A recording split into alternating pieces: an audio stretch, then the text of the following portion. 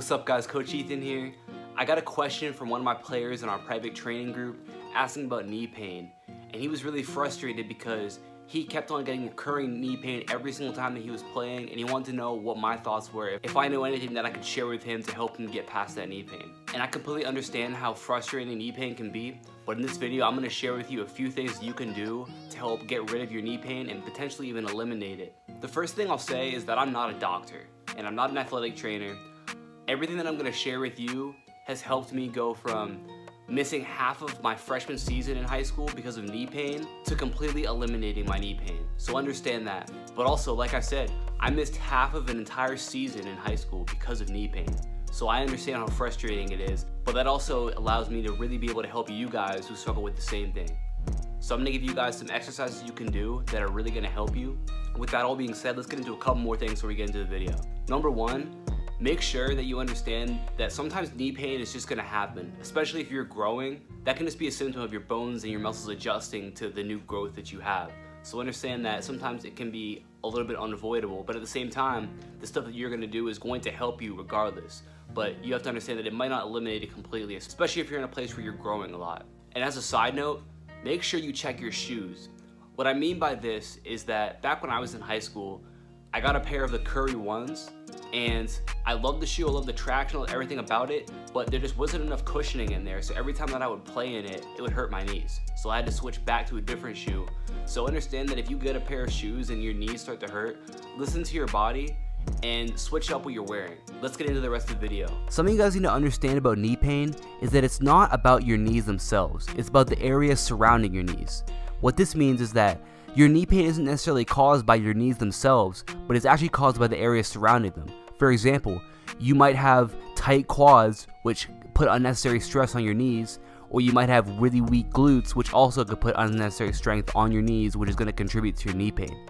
So all the stuff we're going to do in this video is going to work on stretching, which is going to allow you to alleviate some of that tension in those muscles, and strengthening your glutes, which is also going to help you to take some of that pressure and stress off of your knees and put it into a muscle that's built to work for it.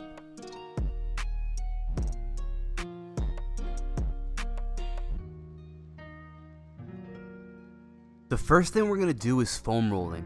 Now foam rolling is super important and it's really going to help you guys out not only with the way that your muscles feel, but it's actually going to improve your performance as well. Studies have shown that foam rolling decreases tension within the muscles and allows you to perform at a higher level in terms of speed and flexibility. And this is going to be a key to relieving any sort of tension in your muscles that is going to give you knee pain or anything like that. The first area we're going to foam roll is our inner quads. For me personally, this is the area that has the most tension that causes knee pain for me. A lot of times when I hit my inner quads with the foam roller, immediately my knee pain goes away. Now this might not be the case for all of you, but this is a very very important area to hit. Now I want you also to make sure that you are on this area for at least 30 seconds before transitioning to your outer quads which you'll see in the video as well.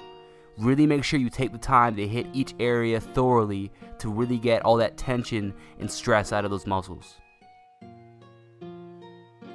Now we're going to hit our outer hips. You want to do a good job to keep your bottom legs straight and we're going to hit those muscles around your waist in the front, middle, and back.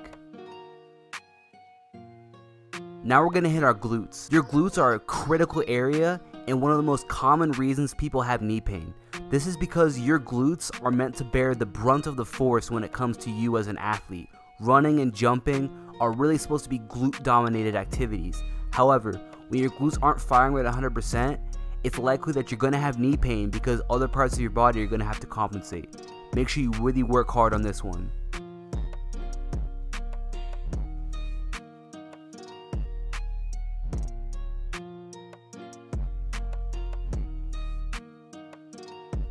When your quads become over involved with your movements, it's to lead to knee pain. So we want to make sure that our quads aren't tight and pulling too much on our knee that's going to put us in a position to have knee pain.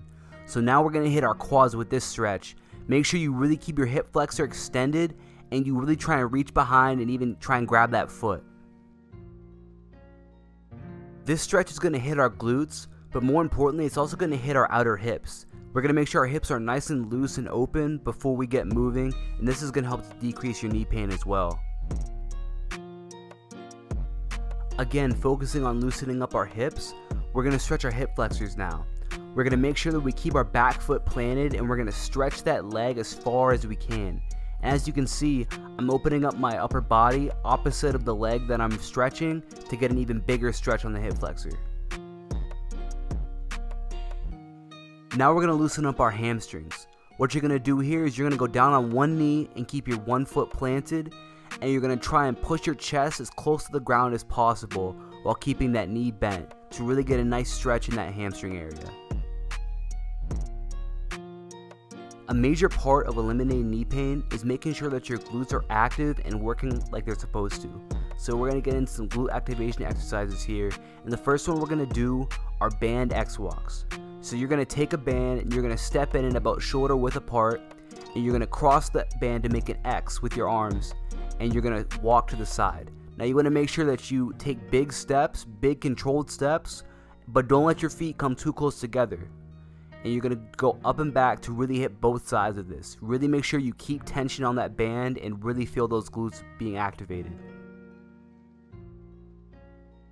Now we're gonna get into some band leg lifts to further activate our glutes.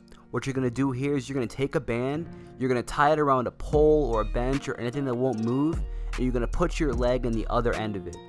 Now what you're going to do is you're going to lift your leg going backwards, but you're going to make sure that you're really contracting your glutes so that your glutes are the ones doing the work. You want to make sure that you don't bend over and you try and stand as straight up as possible and also make sure you keep your leg completely straight so that it doesn't turn into a hamstring exercise. Really make sure that your glutes are contracting and really working and you should feel your glutes becoming more active. Now we're going to do leg lifts to the side. Again, make sure you don't bend over too much, keep your legs straight, you should really feel your glutes and your outer hips working to lift your leg to the side. This is another great exercise to really make sure that those glutes and those outer hips are active and ready to do the work to make sure that your knees don't have to carry too much force.